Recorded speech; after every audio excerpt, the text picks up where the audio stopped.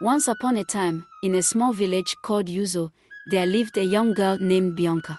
She grew up in a humble mud house with her stepmother, Emilia, and her stepsister, Esther.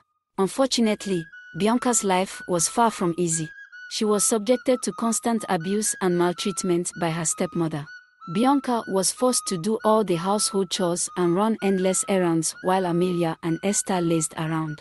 Despite the hardship, Bianca grew up to be one of the most beautiful girls in the entire village. Her radiant smile and kind heart were admired by all who knew her. This only fueled the jealousy within Esther, who could not stand to see Bianca's beauty overshadowing her own. One day, Esther and Amelia decided to take matters into their own hands. They schemed to poison Bianca, hoping to ruin her beauty forever. Their plan worked, and Bianca woke up with dark spots covering her previously flawless skin. The enchanting beauty she had possessed was now dimmed. Heartbroken and distraught, Bianca continued to endure the mistreatment, as her stepmother and stepsister gloated in their perceived victory.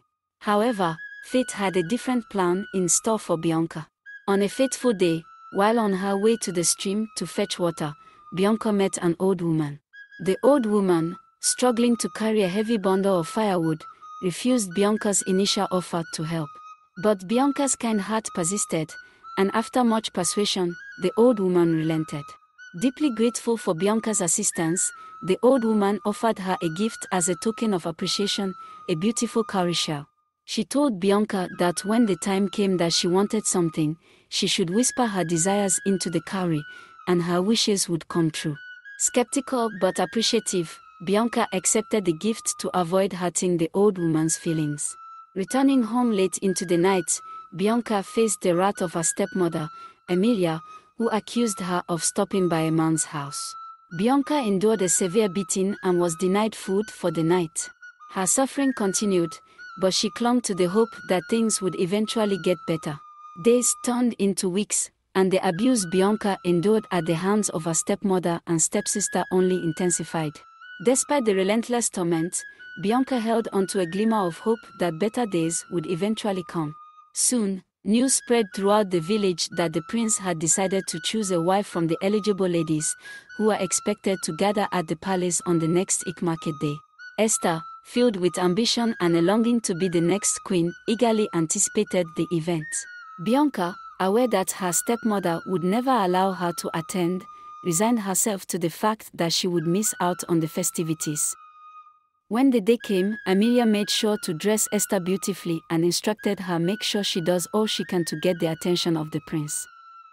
Bianca was left alone with loads of work. This, Amelia did intentionally to stop her from attending the ceremony. While cleaning her room, she stumbled upon the forgotten cowrie shell. Remembering the old woman's words, she whispered her desire to be beautiful again into the cowrie, despite her initial doubts. To Bianca's astonishment, as she finished uttering her wish, a radiant aura enveloped her. The spots that marred her once flawless skin faded away, revealing her true inner beauty. Her tattered, threadbare clothes transformed, adorning her in a vibrant and elegant traditional attire. In that moment, Bianca knew she had been granted a miraculous gift. The old woman, appearing before her once again, reaffirmed the powers of the cowrie shell and warned Bianca that the enchantment would last until midnight. Grateful for the gift, Bianca thanked the old woman before rushing out into the night, determined to experience the joy of the village celebrations she had missed for far too long. Arriving at the palace filled with revelry, Bianca could hardly believe her eyes. The other eligible ladies danced and flaunted their beauty, hoping to capture the attention of the prince who sought a bride. Bianca, however, chose not to partake in the competition.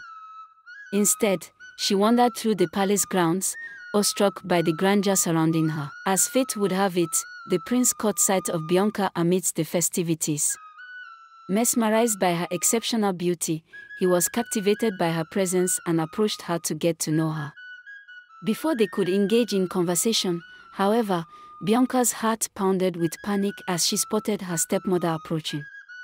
Fearful of being recognized, Bianca retreated into the shadows. To her relief, The enchantment of the cowrie shell shielded those around her from identifying her true identity, except for the discerning eyes of the prince. They spent the evening sharing stories, dreams, and aspirations, forming a deep and authentic connection. Bianca discovered herself falling for the prince's genuine and compassionate nature. Bianca found herself falling for the prince's kind and genuine nature, and she felt a deep connection with him. As the prince mustered up the courage to ask Bianca to be his wife, she suddenly felt a strange sensation, realizing that the enchantment of the cowrie shell was nearing its end. Panicked, she hastily excused herself, promising to return with an answer. Bianca ran through the palace grounds, desperately trying to make it back home before the midnight deadline. The prince, realizing she was in a hurry, followed her with determination to receive her response. As he chased after her, he noticed a delicate pair of earrings she had dropped along the way. With a glimmer of hope, he picked them up, thinking that the sight of her lost jewelry would catch her attention and make her stop. However, to his dismay, she vanished before his eyes, leaving him disappointed but holding onto the earrings as a sign that he might find her again someday. The following morning, the prince embarked on a determined quest, going door to door in search of a woman who possessed the matching pair of earrings. Days turned into nights as he tirelessly sought a clue that could lead him back to her. Despite his persistence, he could not find anyone who possessed the missing piece. Deeply longing to find her, thoughts of her consumed his mind, just as thoughts of him consumed Bianca's mind. However, she had relinquished hope of ever being with him, believing that her appearance rendered her undeserving of love and companionship.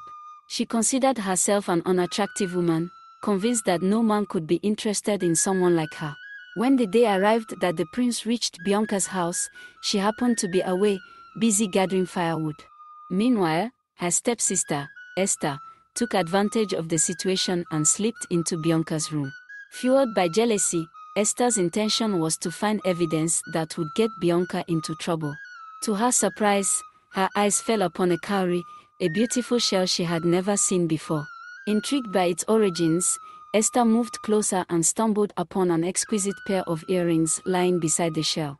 The earrings possessed a unique beauty that perfectly matched the descriptions given by the other maidens. Consumed by envy, Esther impulsively discarded the cowrie shell and hurriedly reported her discovery of the earrings to her mother, Amelia, with the hope of securing her own marriage to the prince. Amelia, driven by greed and blinded by ambition, convinced Esther to keep the discovery of the earrings a secret. Together, they concocted a scheme to utilize the earrings to their advantage, plotting to present Esther as the mysterious beauty who had captured the prince's attention at the palace. Their scheme worked flawlessly once again, and the prince, deceived by their ruse, escorted Esther back to the palace, believing she was the one he had been searching for all along.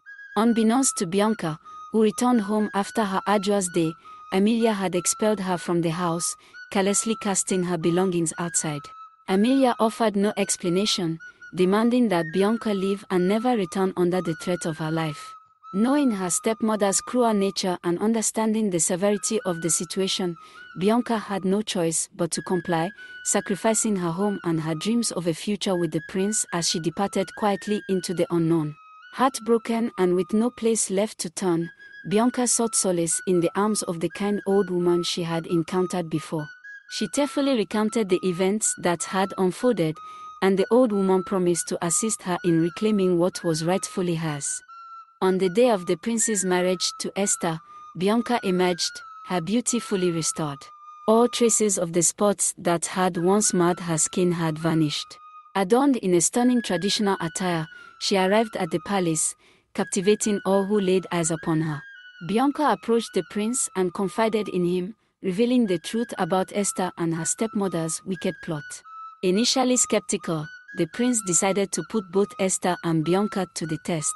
He posed a series of questions about their encounter that fateful night, and while Esther stumbled with each answer, Bianca effortlessly recalled every detail they had shared. Convinced of Bianca's sincerity, the prince confronted Amelia and Esther, demanding the truth. In a dramatic turn of events, Amelia was forced to confess to her malevolence and reveal the truth behind her husband's death and Bianca's mother's unfortunate fate. Esther, overcome with guilt, admitted to her cruel act of poisoning Bianca, which had caused the appearance of the spots. The village's elders, filled with righteous anger, banished Amelia and Esther from the kingdom forever, ensuring that they could no longer inflict harm on anyone again. With justice served, the prince realized the love he held for Bianca was pure and true. The prince and Bianca were married in a grand celebration that echoed throughout the village. The sound of traditional drums and jubilant singing filled the air as the villagers rejoiced in the union of their beloved prince and the once mistreated Bianca. From that day forward, Bianca and the prince ruled the kingdom with compassion and wisdom, bringing prosperity and happiness to their people. And as for the kind old woman, she continued to guide and support Bianca along her journey. It was revealed that the old woman was a revered spirit who had been watching over Bianca since her birth, ensuring that she would overcome her hardships and find true happiness.